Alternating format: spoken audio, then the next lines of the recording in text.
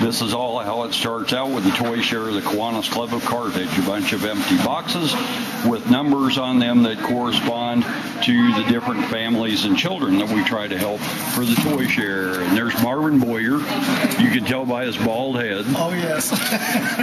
Marvin's a member of the Kiwanis Club of Carthage, and what we do is we give out toys to uh, area foster kids and children in need, and it's a lot of fun. We've been doing this for a number of years, and we're just kind of getting started with it today. Here's some of the other members of the Carthage Kiwanis Club. We're What? getting ready. We're getting ready to work. We're trying to get ourselves You're getting psyched up, is what you're saying. motivated. And we had some folks that are with us today from the uh, Macomb Kiwanis Club for what we call an interclub. We visit different clubs once a month, and we're very proud of the fact that, Dave, do you know how many years we had perfect uh, times for the uh, interclub? I can't remember the last time we haven't. Haven't. That's true. And there's Brian over there sitting with all of his friends. If you could have sat here, Brian, we wouldn't have. Right? You were the one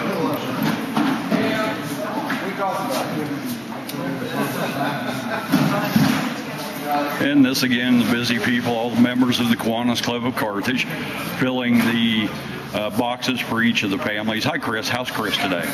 What does this mean to you to be part of the Toy Share program? Oh, I just love to see the looks on their faces when they come and pick up their toys, and they're just so grateful, and it just makes you feel good. That's what Christmas is all about. So, Thank you, Chris.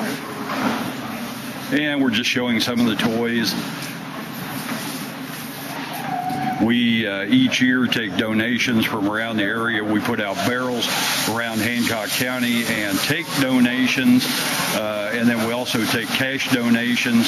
And that way, uh, whatever we don't get in of specific toys for specific age groups, we uh, then go out and buy toys that we can kind of fill in the blanks. And there's Kristen McDowell. She's in charge of the committee. How's Kristen doing? I agree. Has it been a lot of work this year, but it's a lot of fun to get this done. It's great work. It's fun. How any idea how many families that we serve Probably with this? roughly about 300 because there's about 80, uh, a little over 80 families, and Yeah. there's about an average of three to four kids in, the, in each family.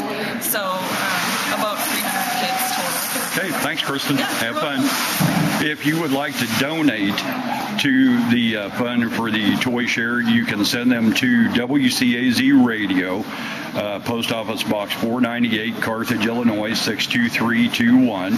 That's WCAZ Radio, Post Office Box 498, Carthage, Illinois 62321. Make any checks payable to the Kiwanis Club of Carthage, and we'll make sure that it gets to the appropriate place. And let's see, there's Jerry Bartell and Kevin Youngmeyer, a couple of uh, Kiwanians that have worked on the toy share. Hi, Jerry. How are you doing today? Hey, good, Rob. How are you? Oh, pretty good. Tell me what, what your thoughts are on the toy share program this year. Oh, I think it's fantastic. I, I was anticipating having more names, but we're down a little bit.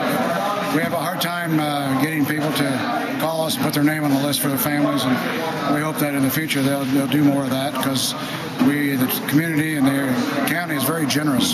So we had enough money to go buy some more toys if, if need be, and so hopefully next year. Uh, you know, if the need is still there, that the people really come out and call us up and say, hey, you know, our family needs some help, and, and Yep. we'll, we'll be there to help them. Absolutely. Thanks, Jerry.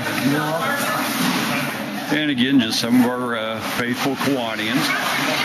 And again, if you would like to make a donation to the Kiwanis Toy Share program, send it to WCAZ Radio, Post Office Box 498, Carthage, Illinois 62321. Make any checks payable to Kiwanis Club of Carthage. Thank you and have a Merry Christmas and a Happy New Year.